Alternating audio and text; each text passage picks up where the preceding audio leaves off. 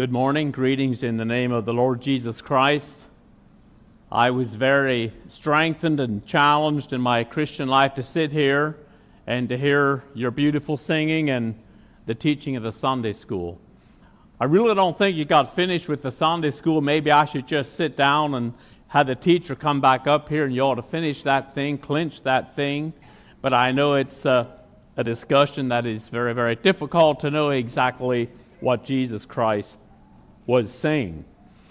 I'm excited. I'm thrilled to be here again this morning, uh, mainly because uh, the Lord Jesus Christ is here. His Holy Spirit is here with us. God dwells among His people. And as I said one other time, those of us who are in intimate relationship with Jesus Christ love to be with the people that we love the most. And to us, that's God the Father and the Lord Jesus Christ. I count it a big privilege, uh, my wife and I, the loveliest, to be here because you're here. You're a very important group of people. You're God's children.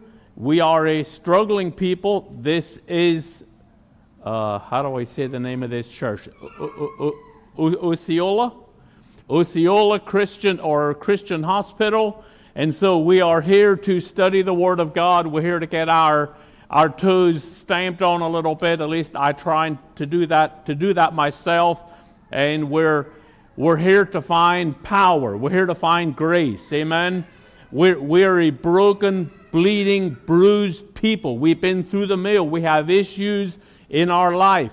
We're not at the top rung of the ladder. We're at the bottom rung of the ladder. We have issues. We have pain. We would have reasons to make excuses. Uh, we're just a needy people. Maybe that's not a nice thing for a guest speaker to say, but we just all have needs. And I think the greatest need, or the, the second greatest thing a person can do, is to, is to sense their need of Jesus Christ, to be in Jesus Christ in a more fully sense. Uh, the greatest thing, the greatest thing that a person can do is to have that need met, to, to humble ourselves and to have that need met. So this morning, the subject that we're going to be discussing, we're, we're all going to have needs. There's nobody here in perfection, but we all have needs. And as we look into the beautiful, moving, dynamic Word of God, uh, we're going to see needs, and we're going to have those needs met in Jesus Christ. I also want to thank you one more time before I get to preaching. I'll do this very, very quickly for the warmth of your reception of Janet and I. We had a very, very good weekend so far. We just love Corey and Dolores. We, we felt like we just didn't really connect yet. And you know, we live there in the cabin. We don't see a lot of them, they don't see a lot of us. And uh, we just really appreciate their family and their cabin and, and all the rest of you, the homes that we've gotten into. We love you people. And maybe we can sit down talk a little bit yet more, Corey and Dolores. Also, to the folks that are sitting close to Carl and Darla back there, I understood that Friday night he said that he was up every hour of the night because he was making, uh, what do you call that meat? I'm not a cook. He was making, uh, full, he was making brisket up every night, and so he was tired. It didn't go real well for him. He thought it got too dry. I thought it's delicious. So you guys sitting around Carl there, if he nods off for Pete's sake, let him nod, let him get a little bit of sleep. I'm going to try and keep him awake. Don't jam him, don't elbow him. He is shot, he's tired, he, he's a mess, but he's going to survive. he's going to survive. Okay, having said all that, getting, having, having gotten that off my nerves and my, I don't know that I have a lot of nerves, but having got that off my mind, I can proceed with uh, the very beautiful message that we have here this morning. And I don't know, I'm, I'm going to call it What is the Atmosphere of Your Home? I, I want to speak about the Christian home here this morning. I was really wrestling with God a little bit like Jacob did. And I took into account what could be some of your needs here. And when you get really, really close to God, because God doesn't yell, God's not a yeller, He just whispers. And the closer we get to God, you know, we hear those whisperings. And I just felt with all the children and the young families and the youth that you have, uh, even for grandparents, we, we just can't go wrong by having a message on the Christian home the way God intended it to be. And I know here this morning, I'm smart enough to know I'm probably, hopefully, a little smarter than I look. that there are some of us here this morning that are not married. And I, I realize, I realize the, the beauty, the importance, you know, the wonderfulness of singlehood and so, if you're here this morning, we're not trying to delete you. God has called you to a very high calling also. And it doesn't matter who you are here this morning. If you're saved by the grace of the Lord Jesus Christ, God has, God has a mission for you. And so, don't feel left out by this particular message here this morning. So I do kindly invite your attention to Psalm. We're going to go back to the book of Psalms. Psalms that God called uh, David a man who was after his own heart. He was the great singer of Israel, David was. And in Psalm 127, he tells us some very, very beautiful things, some very important things concerning the Christian home. So before we get to that, though, I would, I would like to talk a little bit about Christian home atmosphere and what I would like for you not to do. Listen, what I would like for you not to do is sit there and imagine someone else's home life because you're a congregation, you all know one another very, very well, right? And it's our propensity to scrutinize and put on the binoculars and look over here and say, I think he's, he's addressing that home. Uh, he probably has these people over here in mind. No, I do not because I don't know you. Everything I said so far, this weekend of revival meetings, I know all but zero of, uh, of your situations here. So I, am very, very free. Thank God I'm very, very free in that area. Uh, so just, just take a look at your own self, your own fatherhood, your own motherhood, or if your children, take a look at your degree of loyalty and obedience in the home and what you are doing in order to beautify the home that God placed you in. I just want you to zero in on yourself. So, when we talk about the atmosphere of the home, what, what is your home life like? Is it, a, is it a beautiful place to be?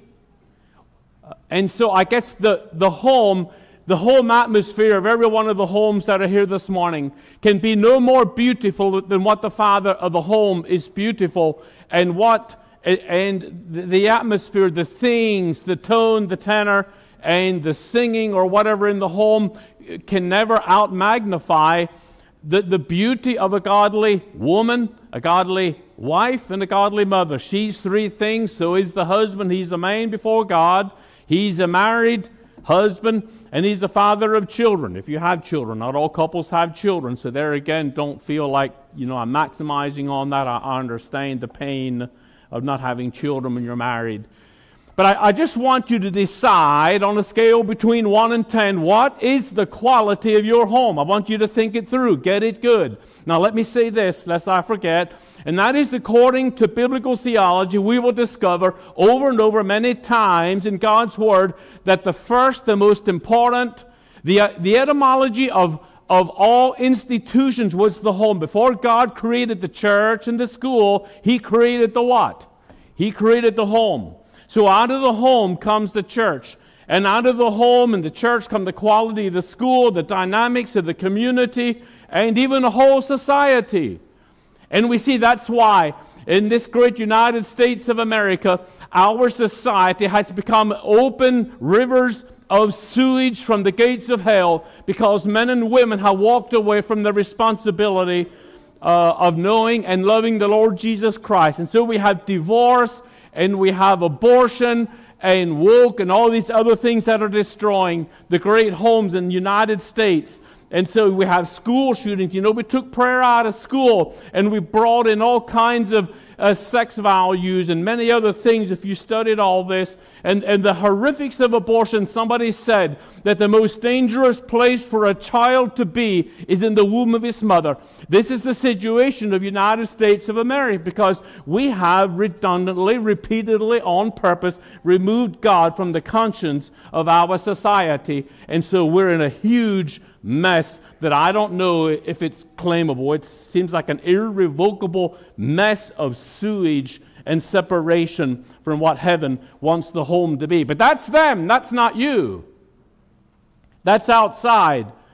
Those things that happen in divorce and everything in the homes outside should never be happening in the inside of the church. But you know, sometimes it is. And a congregation of this size, I'm going to be stupid enough, stupid enough to believe that there could be a marriage or a home that's struggling. And sometimes we struggle over things that God did not intended us to struggle in because He gave us every glory. He gave us the powers of heaven in order to live successful personal Christian lives and to develop homes that are heaven on earth. And so, why do we struggle in areas that we should not be struggling? I can believe that we struggle against the temptations of the devil. And we have a lot of struggles and temptations in our life that are not intrinsic with us. But sometimes, as young people, as homes and fathers and mothers in the home, we struggle over issues. We battle against things that we shouldn't be a part of that war. Eh? Come on. But we do. So now we're getting back to Christian home atmosphere, having explained that so you know what I mean. What, what is the atmosphere of your home? Is it a happy place? Is it, is it a good place to be? Or is it a place of contention? Is it a place of quarrel? Is it a place of friction where we just exist together and we don't get divorced because we are Anabaptists and Anabaptists don't do something like that? But inside the confines of the walls of our home, we really are emotionally and passionately and even sexually divorced. Could there be a divorced home here this morning? Well, I don't mean that you went to the justice of the peace and got a divorce. Good night, no. No, we wouldn't do that. But we fight and we argue and we can't forgive. We end up in bitterness and nobody wants to bury that hatchet, and it just keeps coming up. And we go through life being the devil's fool when heaven is full of mercy and grace, and the Bible is full of all kinds of direction on how we ought to be men and women of the Lord Jesus Christ, how we can be godly, love, romantic partners in our marriage experience. It's all here. Heaven is full, it's bulging, it's bursting with energy and information and love in order for us to experience the love that Christ had for the church. Why do we lollygag? Why do we question God? Why do we fight battles God never intended us to battle in? Did I make that clear? I can go on to the next point. Okay, Psalm 127, please, one time. Psalm 127. David here is making a parallel between a man and a strong city and so on and the functions of a Christian home, the atmosphere of a Christian home. Except the man build a house, they labor in vain that build it. Except the Lord keep the city, the watchman waketh but in, go ahead, vain. It is vain for you to rise up early, to sit up late. This is if you're a watchman, to eat the bread of sorrows, for so he giveth his beloved sleep. We can battle through life and we can overcome obstacles and try to move mountains. Did you hear about moving mountains lately? you know, we can do all those things, and if the Lord is not in it, it's vain. Now, verse 3 Lo, children are a what? They're a heritage of the Lord. That means they come from God. God gives them to us for a very, very short little time. And I know those of you who have a large family, you have eight children from 2 to 14 or whatever, you think you think that workload's going to last forever. Click your fingers 3 times, 3 shakes of a lamb's tail, they're out of the nest and they're married and they're gone. And you don't believe that, that's okay. We didn't either. But verse 3 Children are the heritage of the Lord, and the fruit of the womb is his reward. As arrows, get this, verse 4 as arrows are in the hands of a mighty man, that's a military man, so are the children of the youth. Happy is the man that hath his quiver full of them. They shall not be ashamed, but they shall speak with the enemies at the gate. Happy home life, joyful home life, romantic home life. When you're away from home, when I'm away from home, I don't like to be away from home. Whenever I'm away from home, my mind is like that old mule out there in the field at 5 o'clock or 8 o'clock. You know, where does that mule want to go when he's out there pulling that cultivator all day long? Young ladies, where does that mule want to go? Back to the barn. He wants to go back home. And so here, David here is drawing a little bit of picture, a little bit of a picture of what it's like when the home is what it should be. Talking of atmosphere, you know, you think of outside atmosphere, I guess there are three things that, that create atmosphere, right? Those three things that create atmosphere are what? Temperature, humidity, and air pressure, something like that. Where's our science teacher? We're, Justin, you teach science. Yep, yep, yep. Is, am I about halfway right there? You know, we have atmosphere outside, right? There's weather outside. Okay, so there's weather. And so there, are, there are things that decide whether it's pleasant and nice and beautiful like it was the last, like yesterday one time. Did you like yesterday? Hands up. I want to make sure you're awake. Come on, wiggle your big toe inside your shoe. Yes, you're awake. That was nice. So there are three things that created yesterday. Eh? Some elements. And so sometimes I understand you'll have storms and tornadoes. I think I saw a, through, a few storm shelters. And so when it's stormy, you know, there again, it's those three things that decide whether it's going to give a hurricane or a tornado or whatever. And that's the same thing. It's temperature, humidity, and pressure, something like that. And that's how it is in the home. Where there's commitment, where there's affection, where there's romance. And you say, come on, I'm married 30 years and you're talking about romance. Yes, I am. You heard the word right. Can I say it again? Romance. Now, my wife and I, the loveliest and I, are going to be married 46 years. that's longer than what a lot of you people, that's longer than most of you are old. And there's people here are married longer than I. John, real quick, catch you off guard. How long are you married? Wow, 51 years. Romance? Sure, yeah, there's romance. Romance is that, that feeling of passion and and that love, that, that wanting to be together, that wanting to go home, get home. I want to be at home. I want to see my wife. I want to laugh with her. I want to dine with her. I just want to be close to my wife. I love it. I want to be home. I want to see my kids. I want to get close to them. I want to get down on the floor and I want to roll around on the floor and be a donkey. And I want to look at that, bring those John Deeres out, bring, get them nice toys, get them Massey Ferguson, forget the green John Deeres. Get down there and say to your little boy, bring out those Massey Fergusons. Do you know what, that, what, do you know what a Massey Ferguson is? They're the best, aren't they? Nope, they don't agree. Get down there on that floor and play dolly. And I don't know how to play dolly. We had five boys, and then nine years later, we had a little girl, but she played with all the boys' old worn out toys, and she hardly knew how to play dolly.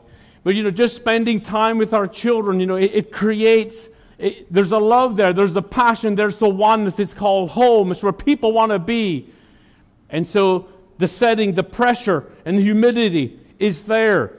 The romance, the submission. It creates an atmosphere of peace and joy and serenity. When we go to work, sometimes we sort of get beat up. When we go out into this sleazy, unclean, unfit society, we go shopping and there's all kinds of sludge and sleaze dripping from every place when we go into society, when we get back into our homes. I almost feel like I got to step in the shower, turn on the shower and the soap and the suds and, and get all this sleaze and hatred and animosity off of my body so I'm fit to, you know, see my lovely wife or whatever. You know, there's so much out there. We, you know, we get beat up and, and then, you know, we come back home and there's peace and it's just where you want to be. There's a nurturing and there's a, an uplifting spirit there. You can't wait to feel those feelings. Come on. Is that your home?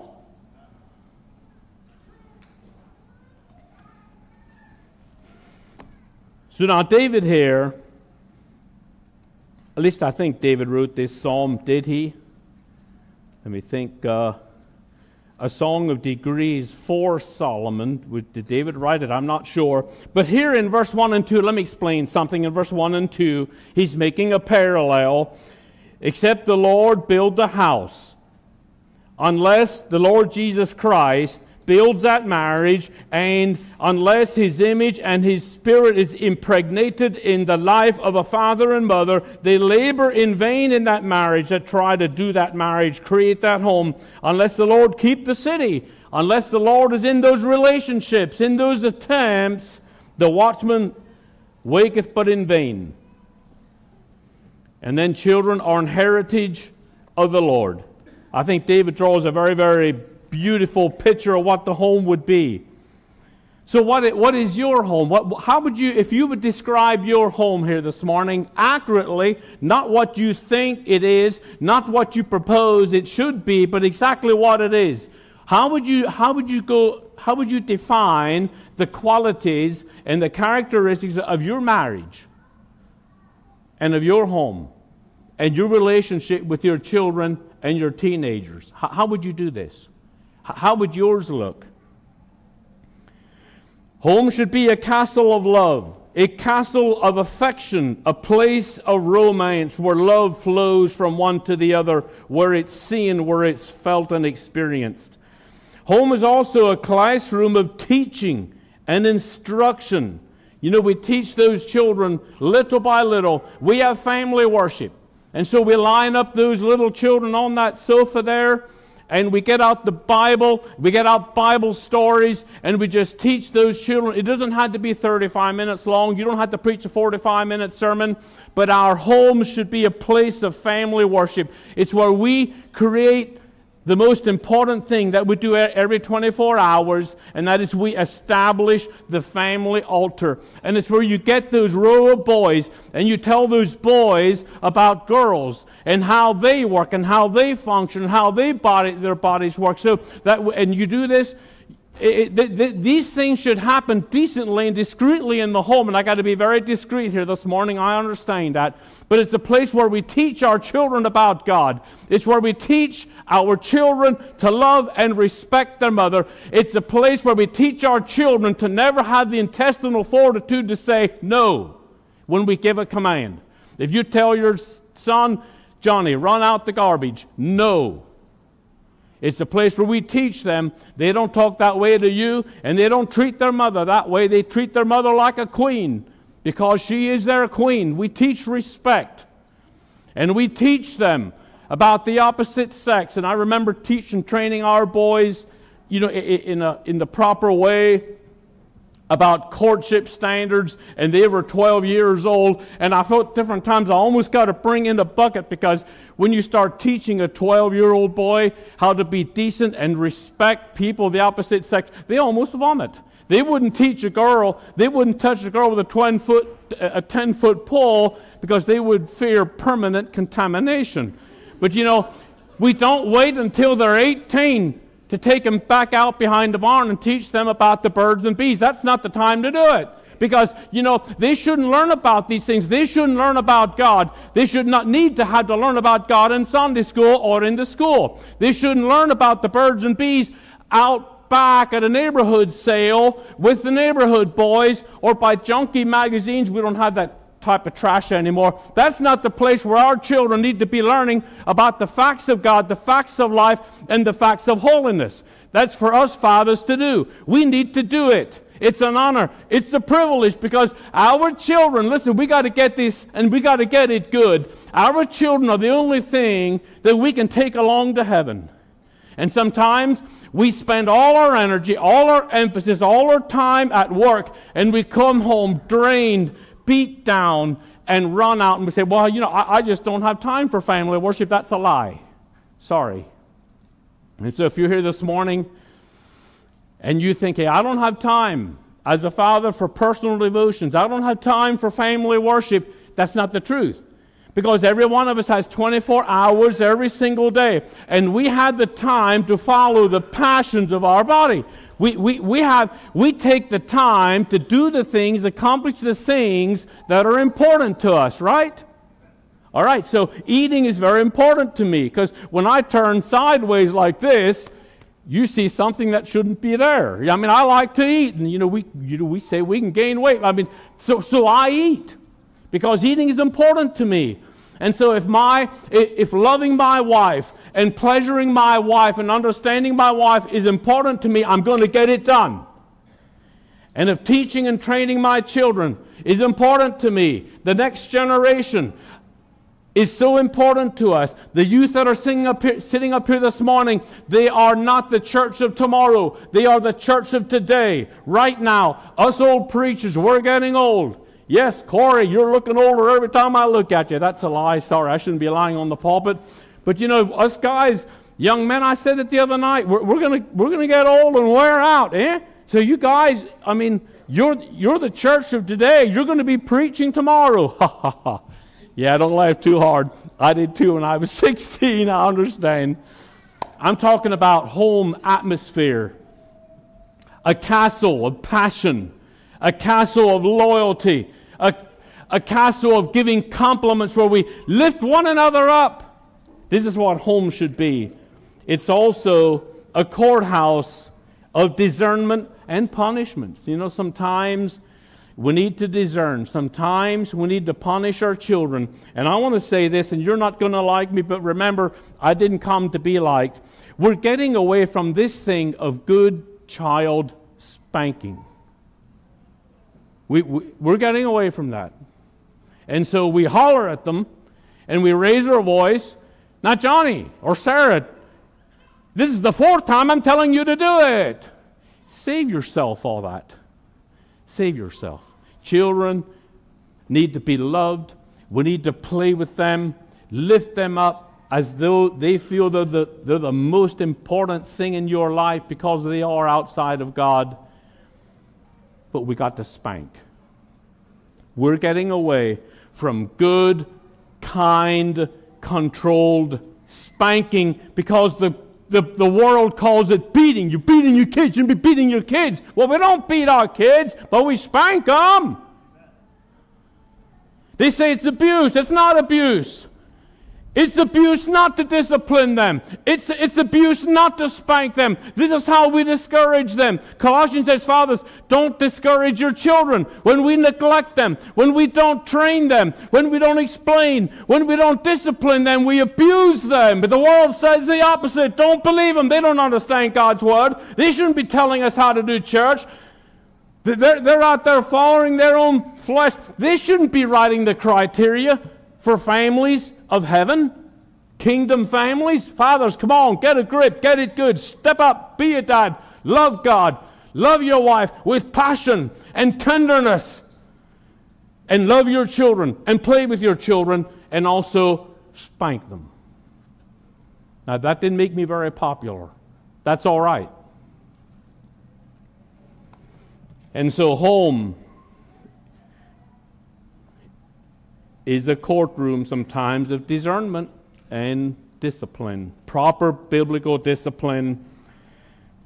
It's also a hospital where we heal, we hurt, we confess sins. Daddies, we make mistakes. Mothers, you do too. That's okay. If you don't make a mistake, if you don't say something a little bit crosswise or make any mistake, then you're, you're probably not doing anything else or you're probably never at home. When we're at home with our wives and we love them and we're teaching and training out with children, we are going to make mistakes. That's not a bad thing. The big thing about that is what are we going to do about it? I don't know how many times we had our five sons, and then Tosh was like nine years on behind, and we loved our youth. We, we just loved youth in our house. It just went so fast. You know, when they turned 14, 16, I it's so fun. And older men, don't you ever dare say to younger men in this audience, just you wait till you have teenagers. Never say that. Encourage them. Okay, let me get off that pedestal. So, we love. And in our loving, we make mistakes. And I don't know how many times, Janet, maybe you can tell me. Where's Janet? You want to sit up and sing a song here, Janet? Yep, she's sitting back there grinning. She knows what I'm going to say. I think she probably heard me preach this before. I don't preach this sermon every time I go in for revival meetings, but I felt to this morning. How many times in loving my sons and training my sons, after a little skirmish came along? That's okay. You're going to have skirmish. Get over it. There's nobody here perfect. If you're a perfect husband and father, wife or mother, raise your hand. I want to see the great perfectionist. I don't see any. Okay, so we make mistakes. That's all right. How many times did I have to go up and knock on my son's door? Michael, hey, Brent, can I talk? Oh, sure, Dad. And I had to, I had to apologize. And I say, hey, do you know what? Maybe what, what I said was right. But I, the way I said it was wrong. Can you forgive me? How many times? And you know, when I talk to my boys now, they're older and married, they got teenagers on, they all almost have teenagers themselves, and they say, Dad, you know, the, the biggest thing, or a very, very big thing in you raising us is when, when you made a mistake, you would come and you would humbly say, I'm sorry, I goofed. Can you forgive me? We're, we're going to. Maybe that's why sometimes us husbands and wives are dysfunctional. Maybe in our pride, we're afraid we're going to make a mistake, so then we do neglect, then we do nothing. Hey, do you make mistakes at work? When you learn to do things? What do you do? When you split a 2 by 4 with a nail gun, you put another one in, I guess. I can't put a 16 pennies. I'm not a carpenter. I couldn't build. You wouldn't want me. I wouldn't do well here in Texas. I don't know how to build sheds. Uh, but you know, we make mistakes. When we make a mistake, what do we do? We fix it. That's okay. Make mistakes. Just go do it. I mean, we, we don't make mistakes deliberately. You, you understand what I'm saying. All right, well, so home is also a place where we grow, where we develop and mature, and where we nurture one another. It's a place of privacy, it's a place of protection. It's a place of security. It's a place where we let our hair down and burp and we don't have to be too ashamed. It's just it's a place where we come out of the world, the workplace, even when we come home from church and it's just us. There's just an atmosphere of understanding. We create an atmosphere of forgiveness and we, we, we, we can see and smell the vibrations of one another's faults and we're okay with it because we're not a perfect people, but we still love one another in Christ. It's just a place where we want to be. Is this your home? Am I being idealistic? I don't think so. God would not give us requirements that He knows that we could not execute, does He? Did you understand what I said? Okay, and I won't repeat it. Home. A place of privacy. It's a place where we, it's a place that we remember a place that we remember. You know, we can go all over the world and we can talk to older people. We can talk to prodigal young people. We can go into jails and prisons and convalescent homes, and everybody remembers home. There's something magnetic about home. There's something great to us. It's part of our, our identity. We, we just, you know, we, we think about home, and there's just a, a there's just a magnetism about home. It's just a place where we all want to be and it's good as a time and good food and brisket and everything else, good coffee, lovely cabin, lovely friends that we had here in Texas. You know, tomorrow morning, do you know where Janet and I want to go? Can you tell me? Home. Home. Let me say this.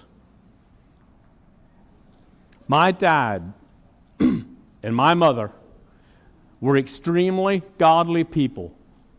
If I resist and rebel the teachings of my father and mother, I'm going to open up my eyes in the hottest place of hell. But my dad, and I'm number 13. And then I, am the youngest. And then when I was little, my mother did foster care. And the world says, that wears a woman out. That's abusive. Well, you know what? She was about 100 when she died and read the Bible through I don't know how many times and helped raise, you know, the, all her children, godly people, and the grandchildren and the great grandchildren. She didn't wear out. Well, she wore out not because of her proximity to children and creating a godly home. It's like heaven on earth. We come home to shower. We, we come home to lick our wounds. We come home to get, to get out of the, the batter and the sleaze of the world. We come home.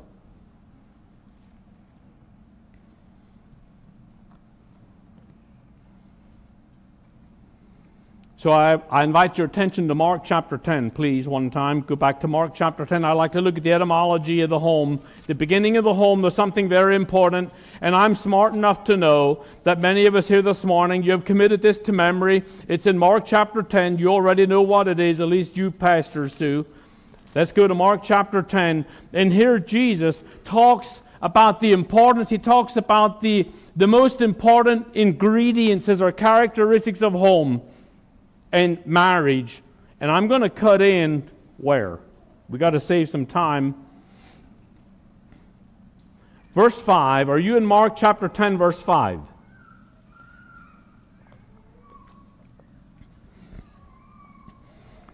And Jesus answered and said unto the Jews that were trying to trap him, Because of the hardness, the evilness, the wickedness of your heart, Moses wrote you this precept, this bill of divorcement.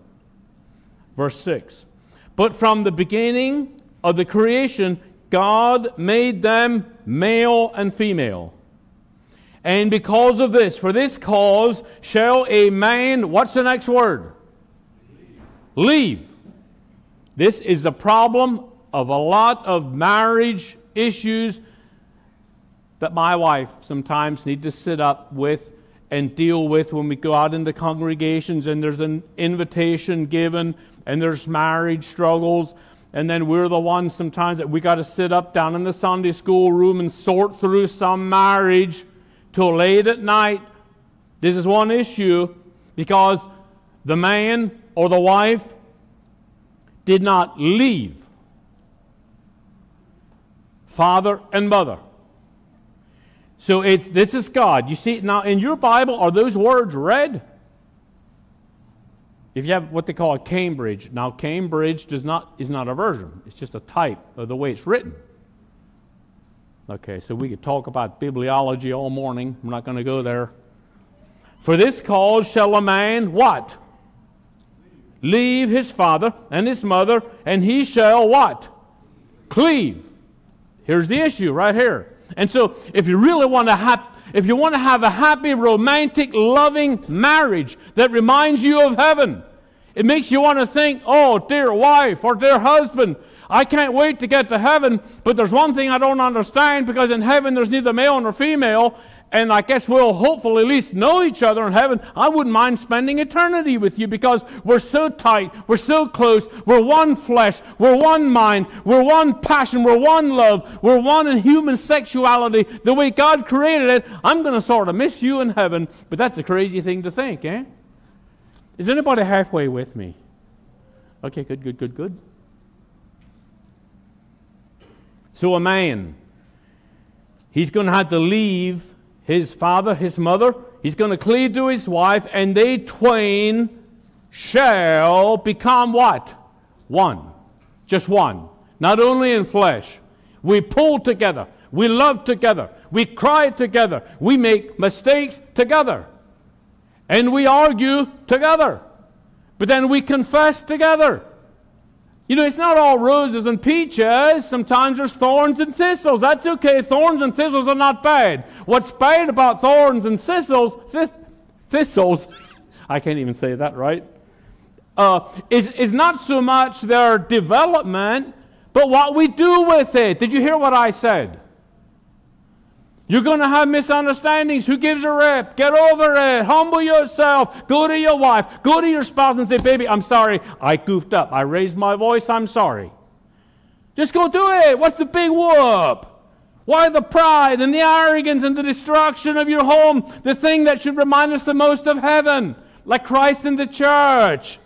How proud and arrogant can we be? And we waste away the grace of God and the blood of the Lord Jesus Christ, who do we think we are? Stronger than Lucifer? Did I, did I make that clear? I'm not sure I did. Carl, did I? Yeah. They twain shall be one flesh, so then they are no longer twain, but they are one. Uh, go back to Proverbs. How does it, what does this look like? So when a man leaves his father and his mother, and he cleaves to his wife, And they become one. What does this look like? Now, this is really, really beautiful. We're going to have to short circuit this. But I want to show you how a Christian home atmosphere should be. Let's go to verse 18. Did I say Proverbs 5, 5, 5, 5? Proverbs 5. Are you there one time? I know I should wait for you. Proverbs 5, verse 18. Here's what the Proverbs writer says about marriage. What he's doing is, I don't have enough time to explain uh, the psychology and the theology that's in Proverbs chapter 5, the verses preceding. So we're going to break in right at 18, okay? Here we go. Let your fountain be blessed and rejoice with the wife of your youth. Let her be as the loving hind and pleasant roe. Let her body satisfy thee at all times, and be thou what? Does your Bible say? Ravished in her love. Now, let me ask you a question Are you awake? Did I read this out of the Bible or out of the uh, Covington Herald? Did I read you God's Word?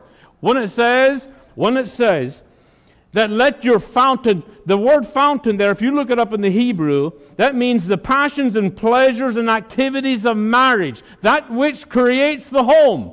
It's the quality of the marriage relationship between father and mother that creates the home atmosphere with our children.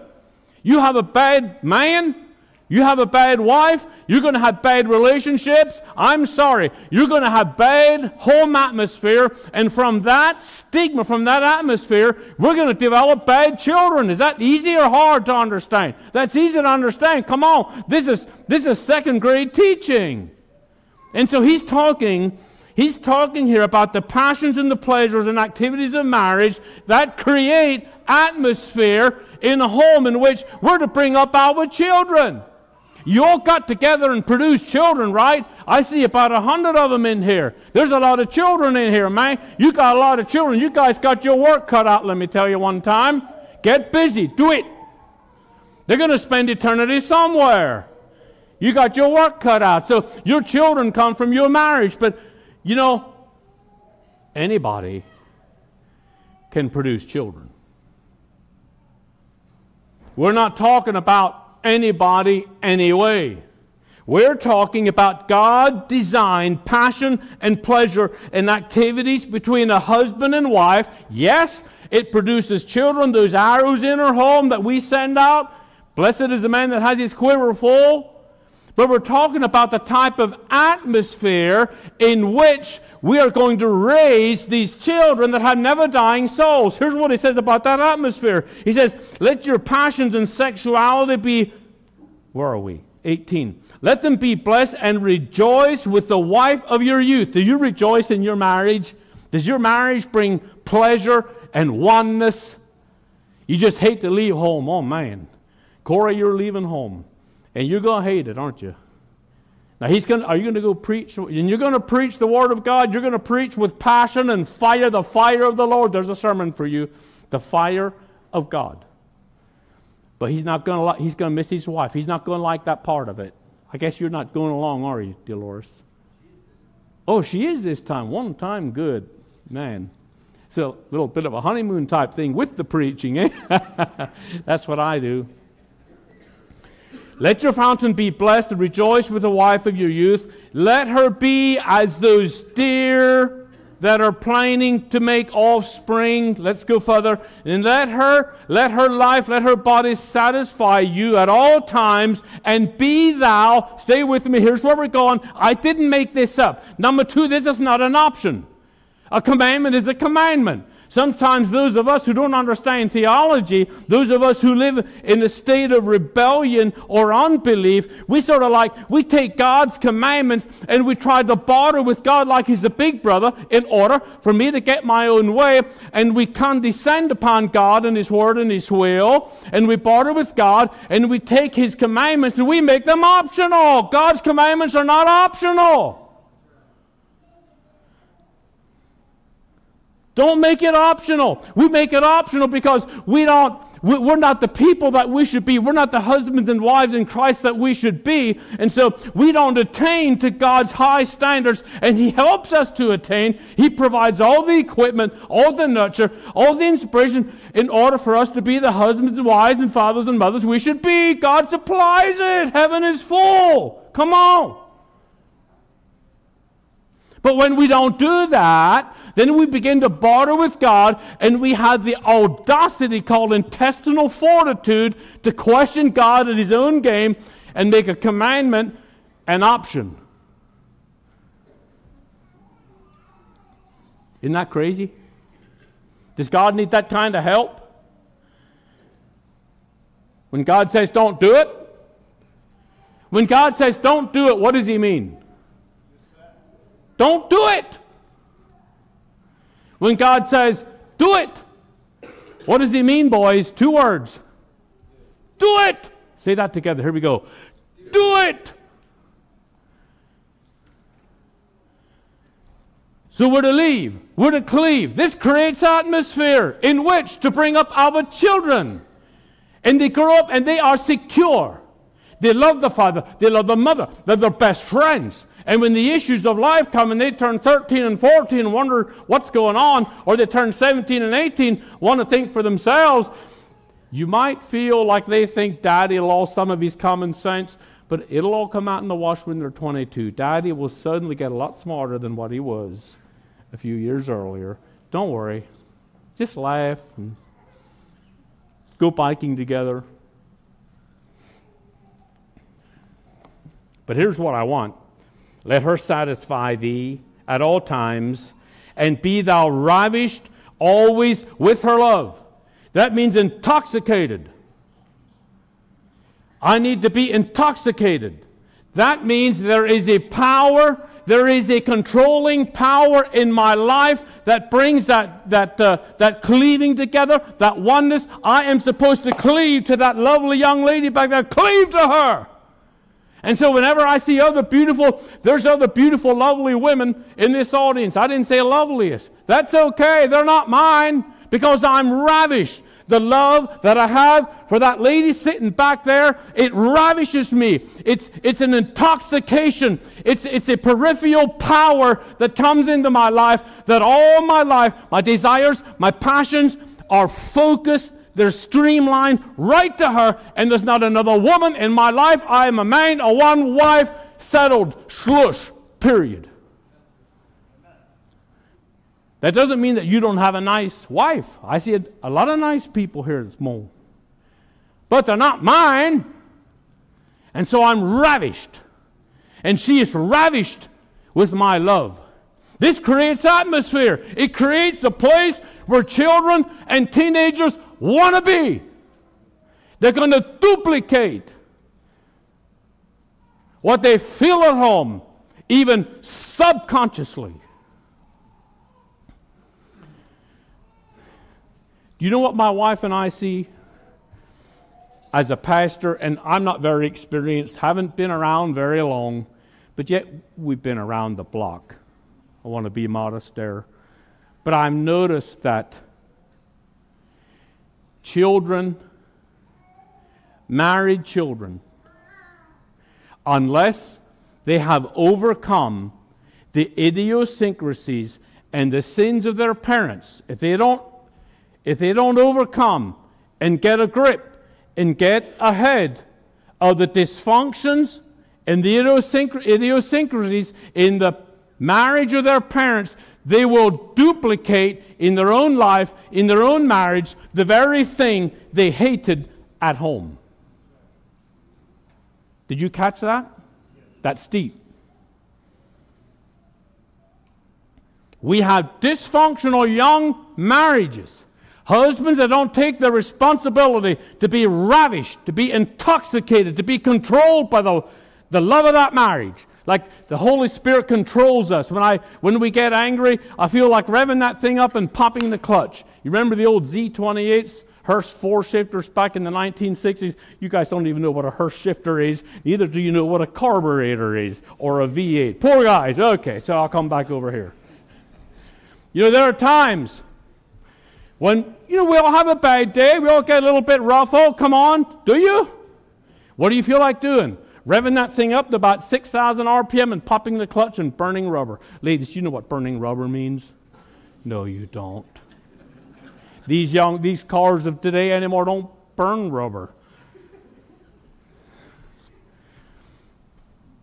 And so the Holy Spirit says, Come on, you had a bad day. Somebody sideswiped you. You feel like burning rubber, but you're not going to. You're going to be kind and forgiving. That's intoxication.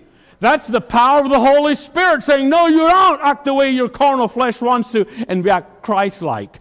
And so this, this is how it works in human sexuality. This is how it works in, in the love affair inside a marriage. We are to be ravished. Why am I making such a big issue about this? Because it's this, it's, it's the quality of the relationship, of the marriage that is the epitome, the foundation of everything that creates atmosphere in your home. If mother and father don't get along, the children aren't going to get along. If you're dysfunctional, your children will have a propensity to be dysfunctional because they will duplicate the very thing they hated about home. Did I make that clear? Okay. Ravished. Can I get a drink? Do you remember the Louvin brothers? You got to be pretty old to remember them. Sang a song, something like this. Here's what home should look like. I think I can get the words. Walking down the street. You know this? While walking down the street one evening, I passed by a cottage so neat. I stopped and I looked in the window and I saw there a picture so sweet. A husband, his wife, and their baby. They were hugging and kissing too. And he turned aside, his tears to hide. And from his lips came these words What is home without a sweet wife to greet you each night at the door? What is home without a baby to love, to tease, and adore? What is home without sunshine to spread its bright rays from above? You may have wealth and its pleasure, but what is home without love? Do you have that? If you don't, that's not the worst thing. The worst thing would be is if you don't have it, if we would be too dumb, too jealous, and too belligerent to go get it where it's freely given. Did you get that last statement? Can I go on?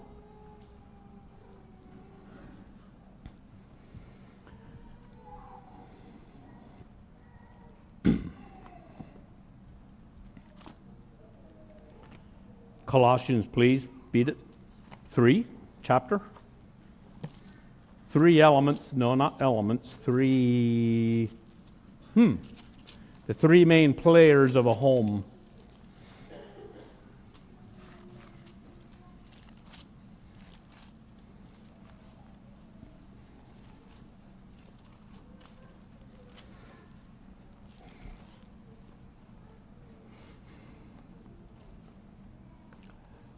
Verse 18. Colossians 3:18. Here are the three main players of a home. Of course, the fourth one would be God. And you all heard it said that marriage and home life, stay with me, and child training is like a triangle. Eh? So where's God in this? Up here. And we're down here somewhere in a triangle. And the closer we get to the creator of the emotions and the body and the needs and the passions of my spouse. the closer we are to God.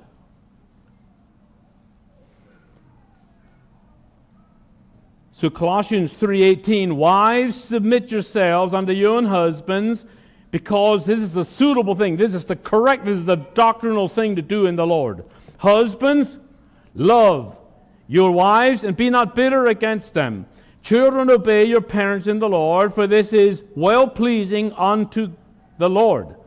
Fathers, provoke not your children to wrath, lest they be discouraged. So, what I would like to do now is I would like to very, very quickly, we have what, 10 minutes. I'm going to look very quickly at these three players, and I would like to look at the privilege and the role of a husband. We had the husband, and it says, Husbands, we're to love our wives. We are not to be bitter. Now, let me ask you this question. Stay with me. Wake up one time. Why in the world would God have to tell us husbands not to be bitter against our wives? Crazy. When you were courting, when you were on your honeymoon, and, and the preacher said, Now, look, uh, you know, 10 years from now or in three months from now, don't get bitter towards your wife. We thought, he ought to retire. it might be true. But you know, we just have that propensity. Somehow, when we step out of our place, when we don't treat our wife like Jesus treated the church, and you're part of the church. Let me ask you, husbands, here this morning, how many times have we gone back on a relationship with Jesus Christ? How many times did we fail of the glory and the grace of the Lord Jesus Christ? So why didn't Jesus come down and bang? Just smashes and throws us from his presence. Like David said in Psalm 51, God didn't do that. Jesus didn't do that to us husbands. God did not get bitter against us. When we failed, when we became dysfunctional, when we made mistakes, God didn't wipe us off the map, swat us like a fly, say, Get out of here, you smelly thing. Did he? So then, this is how we're to be towards our wives. They're going to goof up. They're going to burn the eggs. They're going to back into your brand new Suburban with the old rusted out old Jeep. You know, these things are going to happen, so what? But we, we, we can get bitter over things because the love and the passion is pretty thin. And then every little thing that goes wrong in the marriage becomes a big mountain of disgrace and contention. So, husbands, we need to love our wives. Uh, so, I'm going to, you know, we go to Ephesians. I'm going to skip this. We go into Ephesians, and there it says, Husbands, love your wives as what? Already said it. Christ loved the church. But now, let me show you something in Peter. Now, wives, you can hold your ears shut during this if you want to, because you're going to go home hit your husband in the ribs and say, See, I told you so. Listen to what the preacher said. It's right here in 1 Peter chapter 3, verse 7. So maybe you ought to hold your ears shut. Husbands, brace yourself up, bristle up a little bit, and be tough. We're going to get to the ladies in a minute. And here's what it says. So, if we want to have a happy romantic marriage, is there anybody here this morning? You, you want a happy, satisfying, romantic love relationship with your wife like Christ did the church? Hands up! Oh man, I can keep preaching. How are you going to do it? How are you going to get it done? Is it working out for you? If you keep being the same type of husband that you are this morning, no growth, no confessions if it's needed, are you going to arrive to the place where you put your hand up about? Look at this. This is quality. Are you in 1 Peter 3 7? Likewise, you husbands, Dwell with your wives, what? I want to hear you say it. According to knowledge. Giving honor unto your wife as, as unto the, what does your Bible say? It should say, that's King James, and I like King James. If you go into other languages and back in the Greek, a more accurate, sorry, to those who are King James only. I don't throw that out, I, I try and be flexible. But the weaker vessel could say, it's more accurately in the Greek to say, the more delicate one. So, between a husband and a wife, which one is the most sensitive, has the greater part of the emotions, and is the most delicate? Which one do you think, boys? The wife. Hey, you're well on your way to becoming a good husband. How old are you? Are you looking? no. Question number two Where are you going to be sitting tonight? Not here. Out back there. I pick on the people on the front benches. Didn't you learn that yet, fellas? And so the wife is the more delicate one. And the Bible says, I didn't make this up. Are you with me? The Bible says that husbands, we need to dwell with them according to what? Because she's more delicate. She has needs, she has passions, she has feelings, and she has emotions. And so we are to live with all that thing that might seem so complicated with knowledge. Do any of you guys do any, any type of technical work? Any computer geeks in here? Any people that rebuild engines or rebuild automatic transmissions or, or build sheds? Uh, that look very, very extremely complicated to me over there. Yeah, you know, Carl was showing us this and that, and Corey, and it's like, wood, this type of trim on that, you know, whatever that is, and the softening and the trim and the undergirders. Do you know what an undergirder is? I don't either. And so there's a lot of things out there that are extremely, uh, technical is not the word I want, complicated. And if you think a computer, a laptop is complicated, young boys, a young lady is much more so. Now, the only reason, now listen, the only way that you're going to make a marriage work and explode in the dynamics of fruition and romance and heaven on earthness. I never said that word in all my ministry, earthness. Is that a word? It is now. Don't ask me how you do that in Spanish. Is that we are going to have to study so I need to study my wife. I thought I knew a lot about my wife the day we got married. That was only the beginning. I wasn't even in kindergarten yet. But you know what? The most pleasurable thing that I have done on this side of heaven, and I really can't know that for sure because I've never been to heaven and back, is the most pleasurable thing that I did is unpack and study the delicacies and the beauty and the feelings and the passions of my wife and then be there to meet them like Christ did the church. Christ met our every need, right? Is there anything, is there anything from salvation that God didn't give us yet? Well, what is salvation lacking? Somebody, who's the smartest person in here? I believe it's our brother sitting back there. He looks like a man of wisdom. He had the devotions this morning. What, what, what lacks in salvation? I mean, God opened up heaven and cascaded. He poured out everything we need upon His bride. We're His bride. And so, husbands, we have a physical bride, our wife. And when we study them, we're to study them. We're to live together with them in knowledge that we can meet their needs, their desires, their passion, not lord over them, not scold them, not get bitter against them. Why am I maximizing on this? Because let me say it again. The type of relationship that we have or don't have with our spouse sets the precedence of the atmosphere in which our children are going to grow up with. And upon and in that atmosphere, they will decide for God or against God.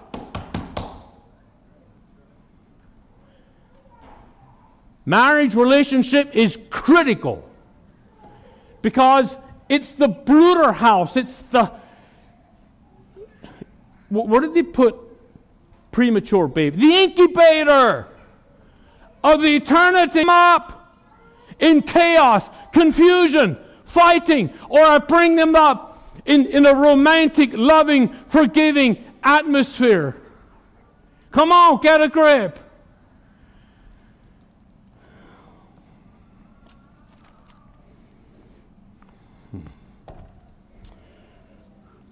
So, Abraham Lincoln said this I got to quit. Okay, I have what? One minute yet? Do you have two minutes for me? Okay, I'm going to stop at 12. But I want to have a quick invitation.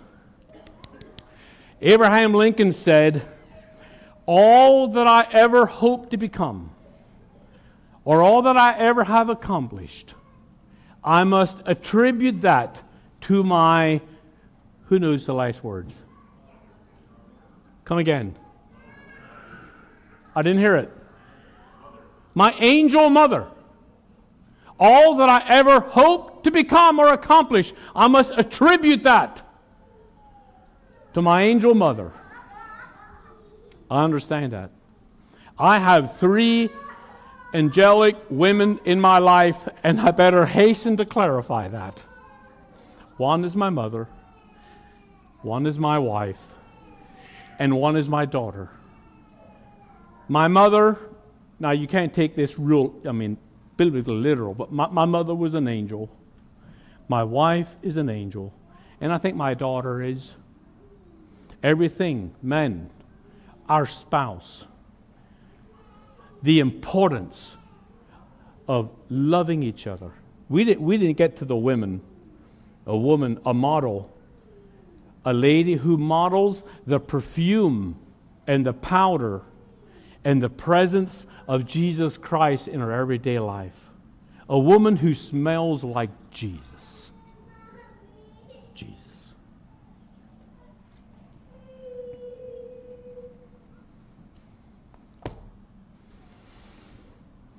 I know it sounded idealistic and it's tough to get to where I said, the Bible said we can be and should be. But if you're here this morning and you're a husband or a wife and, and you know that you've gravely failed your children, you felt the Lord calling you, why, why wouldn't you make a public confession? Get up off that seat and humble yourself. Get over yourself. None of us are that great. If you think you're a big, tough Anabaptist pillar, go home and look in the mirror you'll find that you got buck teeth and greasy hair, and we're just not all that great. Our biodegraded bodies are worth about 37 cents in mulch. So get over yourself. If you're, if you're here this morning and you failed your spouse, you failed your children, don't sit there and wrestle and act like you didn't. They know that you did. Just get up. If you're here as a teenager, you feel like you failed the contribution that God wants you to have been in your home, come to your feet. I get to your feet and just come forward. It, it's simple. This, this is childish stuff. We make Christian confession and repentance so complicated, so churchy. Oh, oh, I've been a church member here for 30 years. I don't do stuff like this. I don't care if it's a million years. If you're here and you're in marital defeat, or that's maybe too strong. If you come forward, everybody's going to think, oh, I'm in marital defeat. If, if there's a gnawing splinter under your fingernail, get to your feet. This doesn't mean that you're in fornication or adultery. It doesn't mean that you're in pornography. But if there's something, if you're just dissatisfied and you want to recommit as a spouse, as a child, get to your feet. Simple. Shall we pray? Heavenly Father, I thank you for the beauty and the power and the simplicity of your word. You're so good. You're so wonderful. And Father, we fail. We come short. That's not the worst. But when we do nothing about it, when we pretend to be something we're not, we're hypocrites and you vomit. Lord, take charge of this childish, simple invitation. Help us to restore our marriages, our commitments. Set us free from guilt, set us free from shame and from hypocrisy, Lord. Be with this invitation. In Jesus' name we pray. Amen. You're going to have to come quick. We're going to sing maybe.